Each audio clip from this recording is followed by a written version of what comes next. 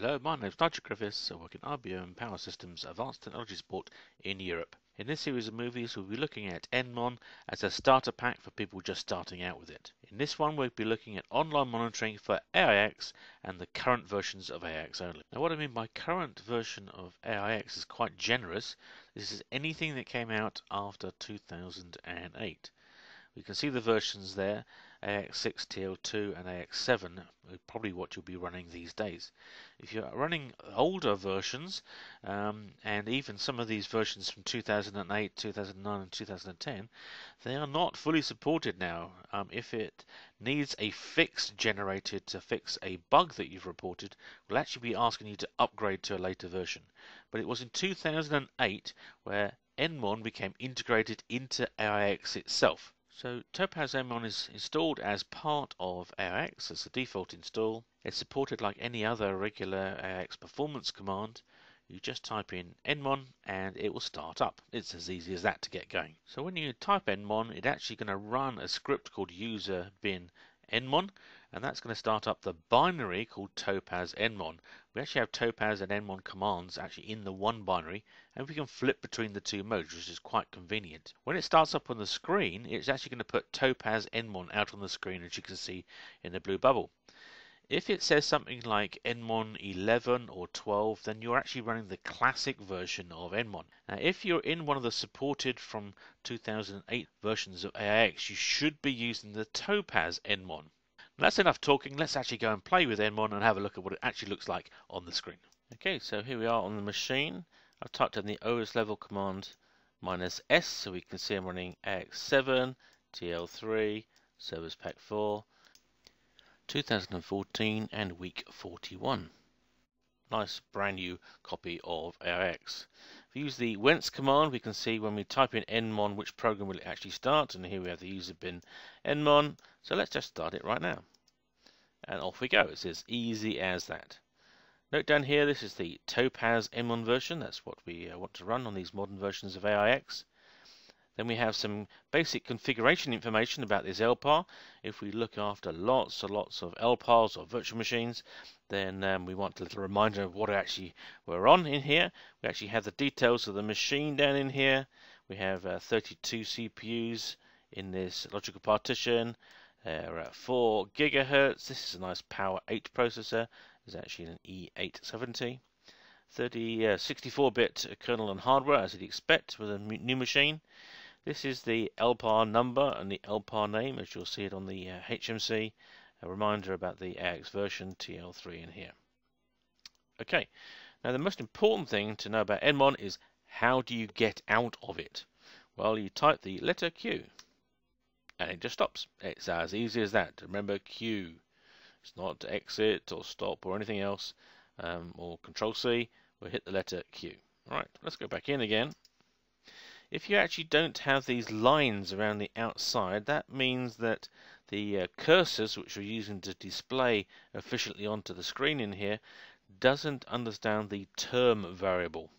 So you'll need to change your shell term variable to match what you actually your terminal emulator is happy with. Next most important command is H up in here because it gives you lots of hints. Now I'll just type the letter H and here we have the help information. It says most of these keys toggle on and off. So if I hit the H key again, it switches it off and H back again. Okay, now some nice useful things in here. C for CPU. So you type C, bring up the CPU information. If you type C again, it will put that away. M for memory. There's a nice L in here for longer term stats. We'll look at that in a minute. D for disks. Hopefully you can sort of remember some of these. N for network, or capital N here for NFS stats. Down here we have T for the top processes. Up in here we have the uh, little k for the kernel internal sorts of numbers. Then we have over here P for some information about the logical partition statistics. Then we have uh, further down in here we have uh, J for the journal file system stats, and they're probably the ones that I use uh, most often to go and have a look at what the machine is actually doing. You can learn some of the others when you get uh, more used to what's going on. I'll hit the uh, H again, and let's just bring up the CPU stats. So here we can see some CPUs. We only can see from 0 to 19, so if we make the window a bit bigger, we can see a few more of these. We can't actually see them all because it's a nice big configuration. This is a, a classic sort of problem we have with more and more CPUs these days. Actually have a, another Nmon running here with a smaller font. Here we can see all 32 logical CPUs. You can see which is using the top setup in here the bottom ones that they are 100% idle because they're being uh, switched off. We don't need those to run this uh, current workload. Down below we have the uh, configuration, the percentages for the uh, whole LPAR. Important up in here we have entitled CPU is 4 and in use CPUs is um, all 4 up here as well. Don't forget in here we have SMT8 so there's 4 CPUs look like a whole load more when we're actually running these are logical CPUs. If I just put that one away and uh, I actually stop that workload running in the background, I was using NCPU to generate that. We can see here that it realizes that it's actually switching off whole CPUs in this case and not showing them and I don't like this mode of jumping about showing what's happening. But I don't uh, actually want to know about the logical CPUs at the moment, so let's switch those off. It's just annoying me. We can look at a different mode. We can type in an L. Then we have the utilization long-term stats. I'll start my workload back up so we have something interesting to uh, look at. Here we go. Using quite a lot of the uh, CPU power. Um, but I'd actually like to look at rather than the percentage of the time while we're on the CPU, I'd actually like to see how much CPU am I using. If I hit the hash key, then we'll see we can see one CPU. No, it's changed to two CPUs. It's outputting rescaling up in here. So this graph is shrinking. Here's the uh, four CPUs at the top in here. And now we can see the actual physical CPU use out of those four physical CPUs, even though they're running eight threads at a time, we can see we're pretty near the edge for this particular um, application. If I stop my workload over in my other window and start um, less workload, and we can see these numbers will come and go as uh, this workload is actually running.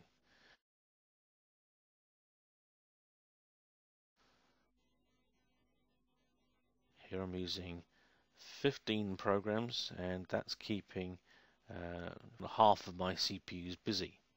Each of them getting a bigger slice of the CPU time. Let's switch off these long-term stats with typing L and then look at some of the other statistics available. Disk space, probably not doing very much. And networking, that will be doing something because I'm actually monitoring this over the network. So this is actually Nmon running itself in here generating packets. We can see the uh, this is the kilobytes on the network very low. This is the number of packets in and out of the network equally quite low. This is the size of the packets very small, so we couldn't drive this to 10 gigabits per second. And uh, these are the uh, the peaks we've hit so far. Down in here we can see there's no errors on the line. Be careful about this one. It has the uh, megabits per second. Although some adapters can have three different uh, speed ratings on the network. Uh, the data structure we're pulling out of the AIX can only got the size for one, so it actually gives us one of these sizes. This isn't necessarily the speed of the network we're actually running on at the moment. We can also look at T for top processes. At the top in here, this is my uh, NCPU program generating um, all the workload, and it's ordered on the uh, CPU column here. We can look at other things in here, like which one's doing the most disk I/O, uh, how who has the biggest program in memory. If we go to hit the 4, we can see which is the biggest. Oh, there's a Java process running here. It's taking, yeah, the program is actually uh, half a gigabyte in size. No surprises there. At the moment we're doing a refreshing once every two seconds. If we hit a minus sign, it will halve that, update the screen a little bit faster. Um, if we hit a plus sign, it will slow it down a little bit. There's two, and plus sign it will double it again, and plus sign it will go up to 8 seconds a time. That actually gives us a bit more um, not flashing things on the screen as we go. We can actually read around the screen between each update of the screen. We switch those off. We can also do things like having a look at the uh, P for uh, partition information and uh, we can see all sorts of information in here about the 64 CPUs in the entire machine. Um, we can see that we've got uh, SMT8 switched on in here. This LPAR has a minimum and maximum of virtual and logical CPUs in here. We've got uh, lots of other information going on. These are dynamic LPAR events will be uh, recorded in here and we can see what sort of mode we're in. It's an LPAR. We can do dynamic LPAR changes. This is uh, SMT shared, uncapped, migratable. We can do live partition migration, and um, it's not donating. And we could actually do uh, AMS as well in this machine. And we can actually see how much uh, physical CPU that was being graphed on the long-term stats for us. Switch that off, We've got some kernel information, uh, important things like the run queue are up in here, a whole bunch of other information. Lots of kernel information like the process switches and system calls. Switch that off. I go back to uh, memory stats here. So this is the physical RAM in the machine and the virtual memory or paging space. So we can see we have uh, 128 uh, gigabytes of memory and we only have a half a gigabyte as paging space, but then 95% uh, of our paging space is uh, free. This is good. In here we also have this uh, numperm, famous NMON number, sorry, famous AIX number. Uh, this is the file system cache size. So the file system cache is a very small percentage um, of the memory. In fact, most of our memory is actually free in here, 91%, same over here. So this has got uh, having a big application installed at the moment. It's not really using very much apart from when I'm using my um, test tools to generate some CPU. So let's switch that off and go back to the help information. There's lots of other things in here you can find. Um, I wanted to highlight two things. NMON gets all this information out of AIX libraries that actually talk into the, the kernel and the various places underneath in detail and so it's very efficient getting that information out. There's two things that it doesn't use uh, libraries to do that, and that's the fiber channel adapter stats, and we use the FC fcstat command. This is because this command in here is closely coupled with the device driver to get information out at a very low level, and the same thing with the VIO server C adapter. We use the entstat to actually get that information out. Everything else then is coming out of library calls to get the information. This makes NMON pretty efficient and doesn't use a lot of CPU power to get a lot of information. Two things slow uh, NMON down. That's when you have hundreds or even thousands of disks. That takes quite a lot of uh, CPU power to get that information out of the kernel. And the same thing if you're running uh, thousands or tens of thousands of processes that actually is a big data structure to pull out. Apart from that, you'll find nmon using a fraction of a percent when it's actually running. If you want NMON to use less data, then ask for less updates on the screen. Go for an 8 second snapshot if you like. Well, that's enough for now. I'll hit Q and we'll come out. Well, that's enough from me for this little movie. Uh, you can find me on Twitter as Mr. nmon. You find lots of uh, movies from me on YouTube. I've got an expert blog and there's two virtual user groups, excellent places for lots of material and information about running AIX and uh, power systems. If you've liked this movie, why not click the thumbs up below?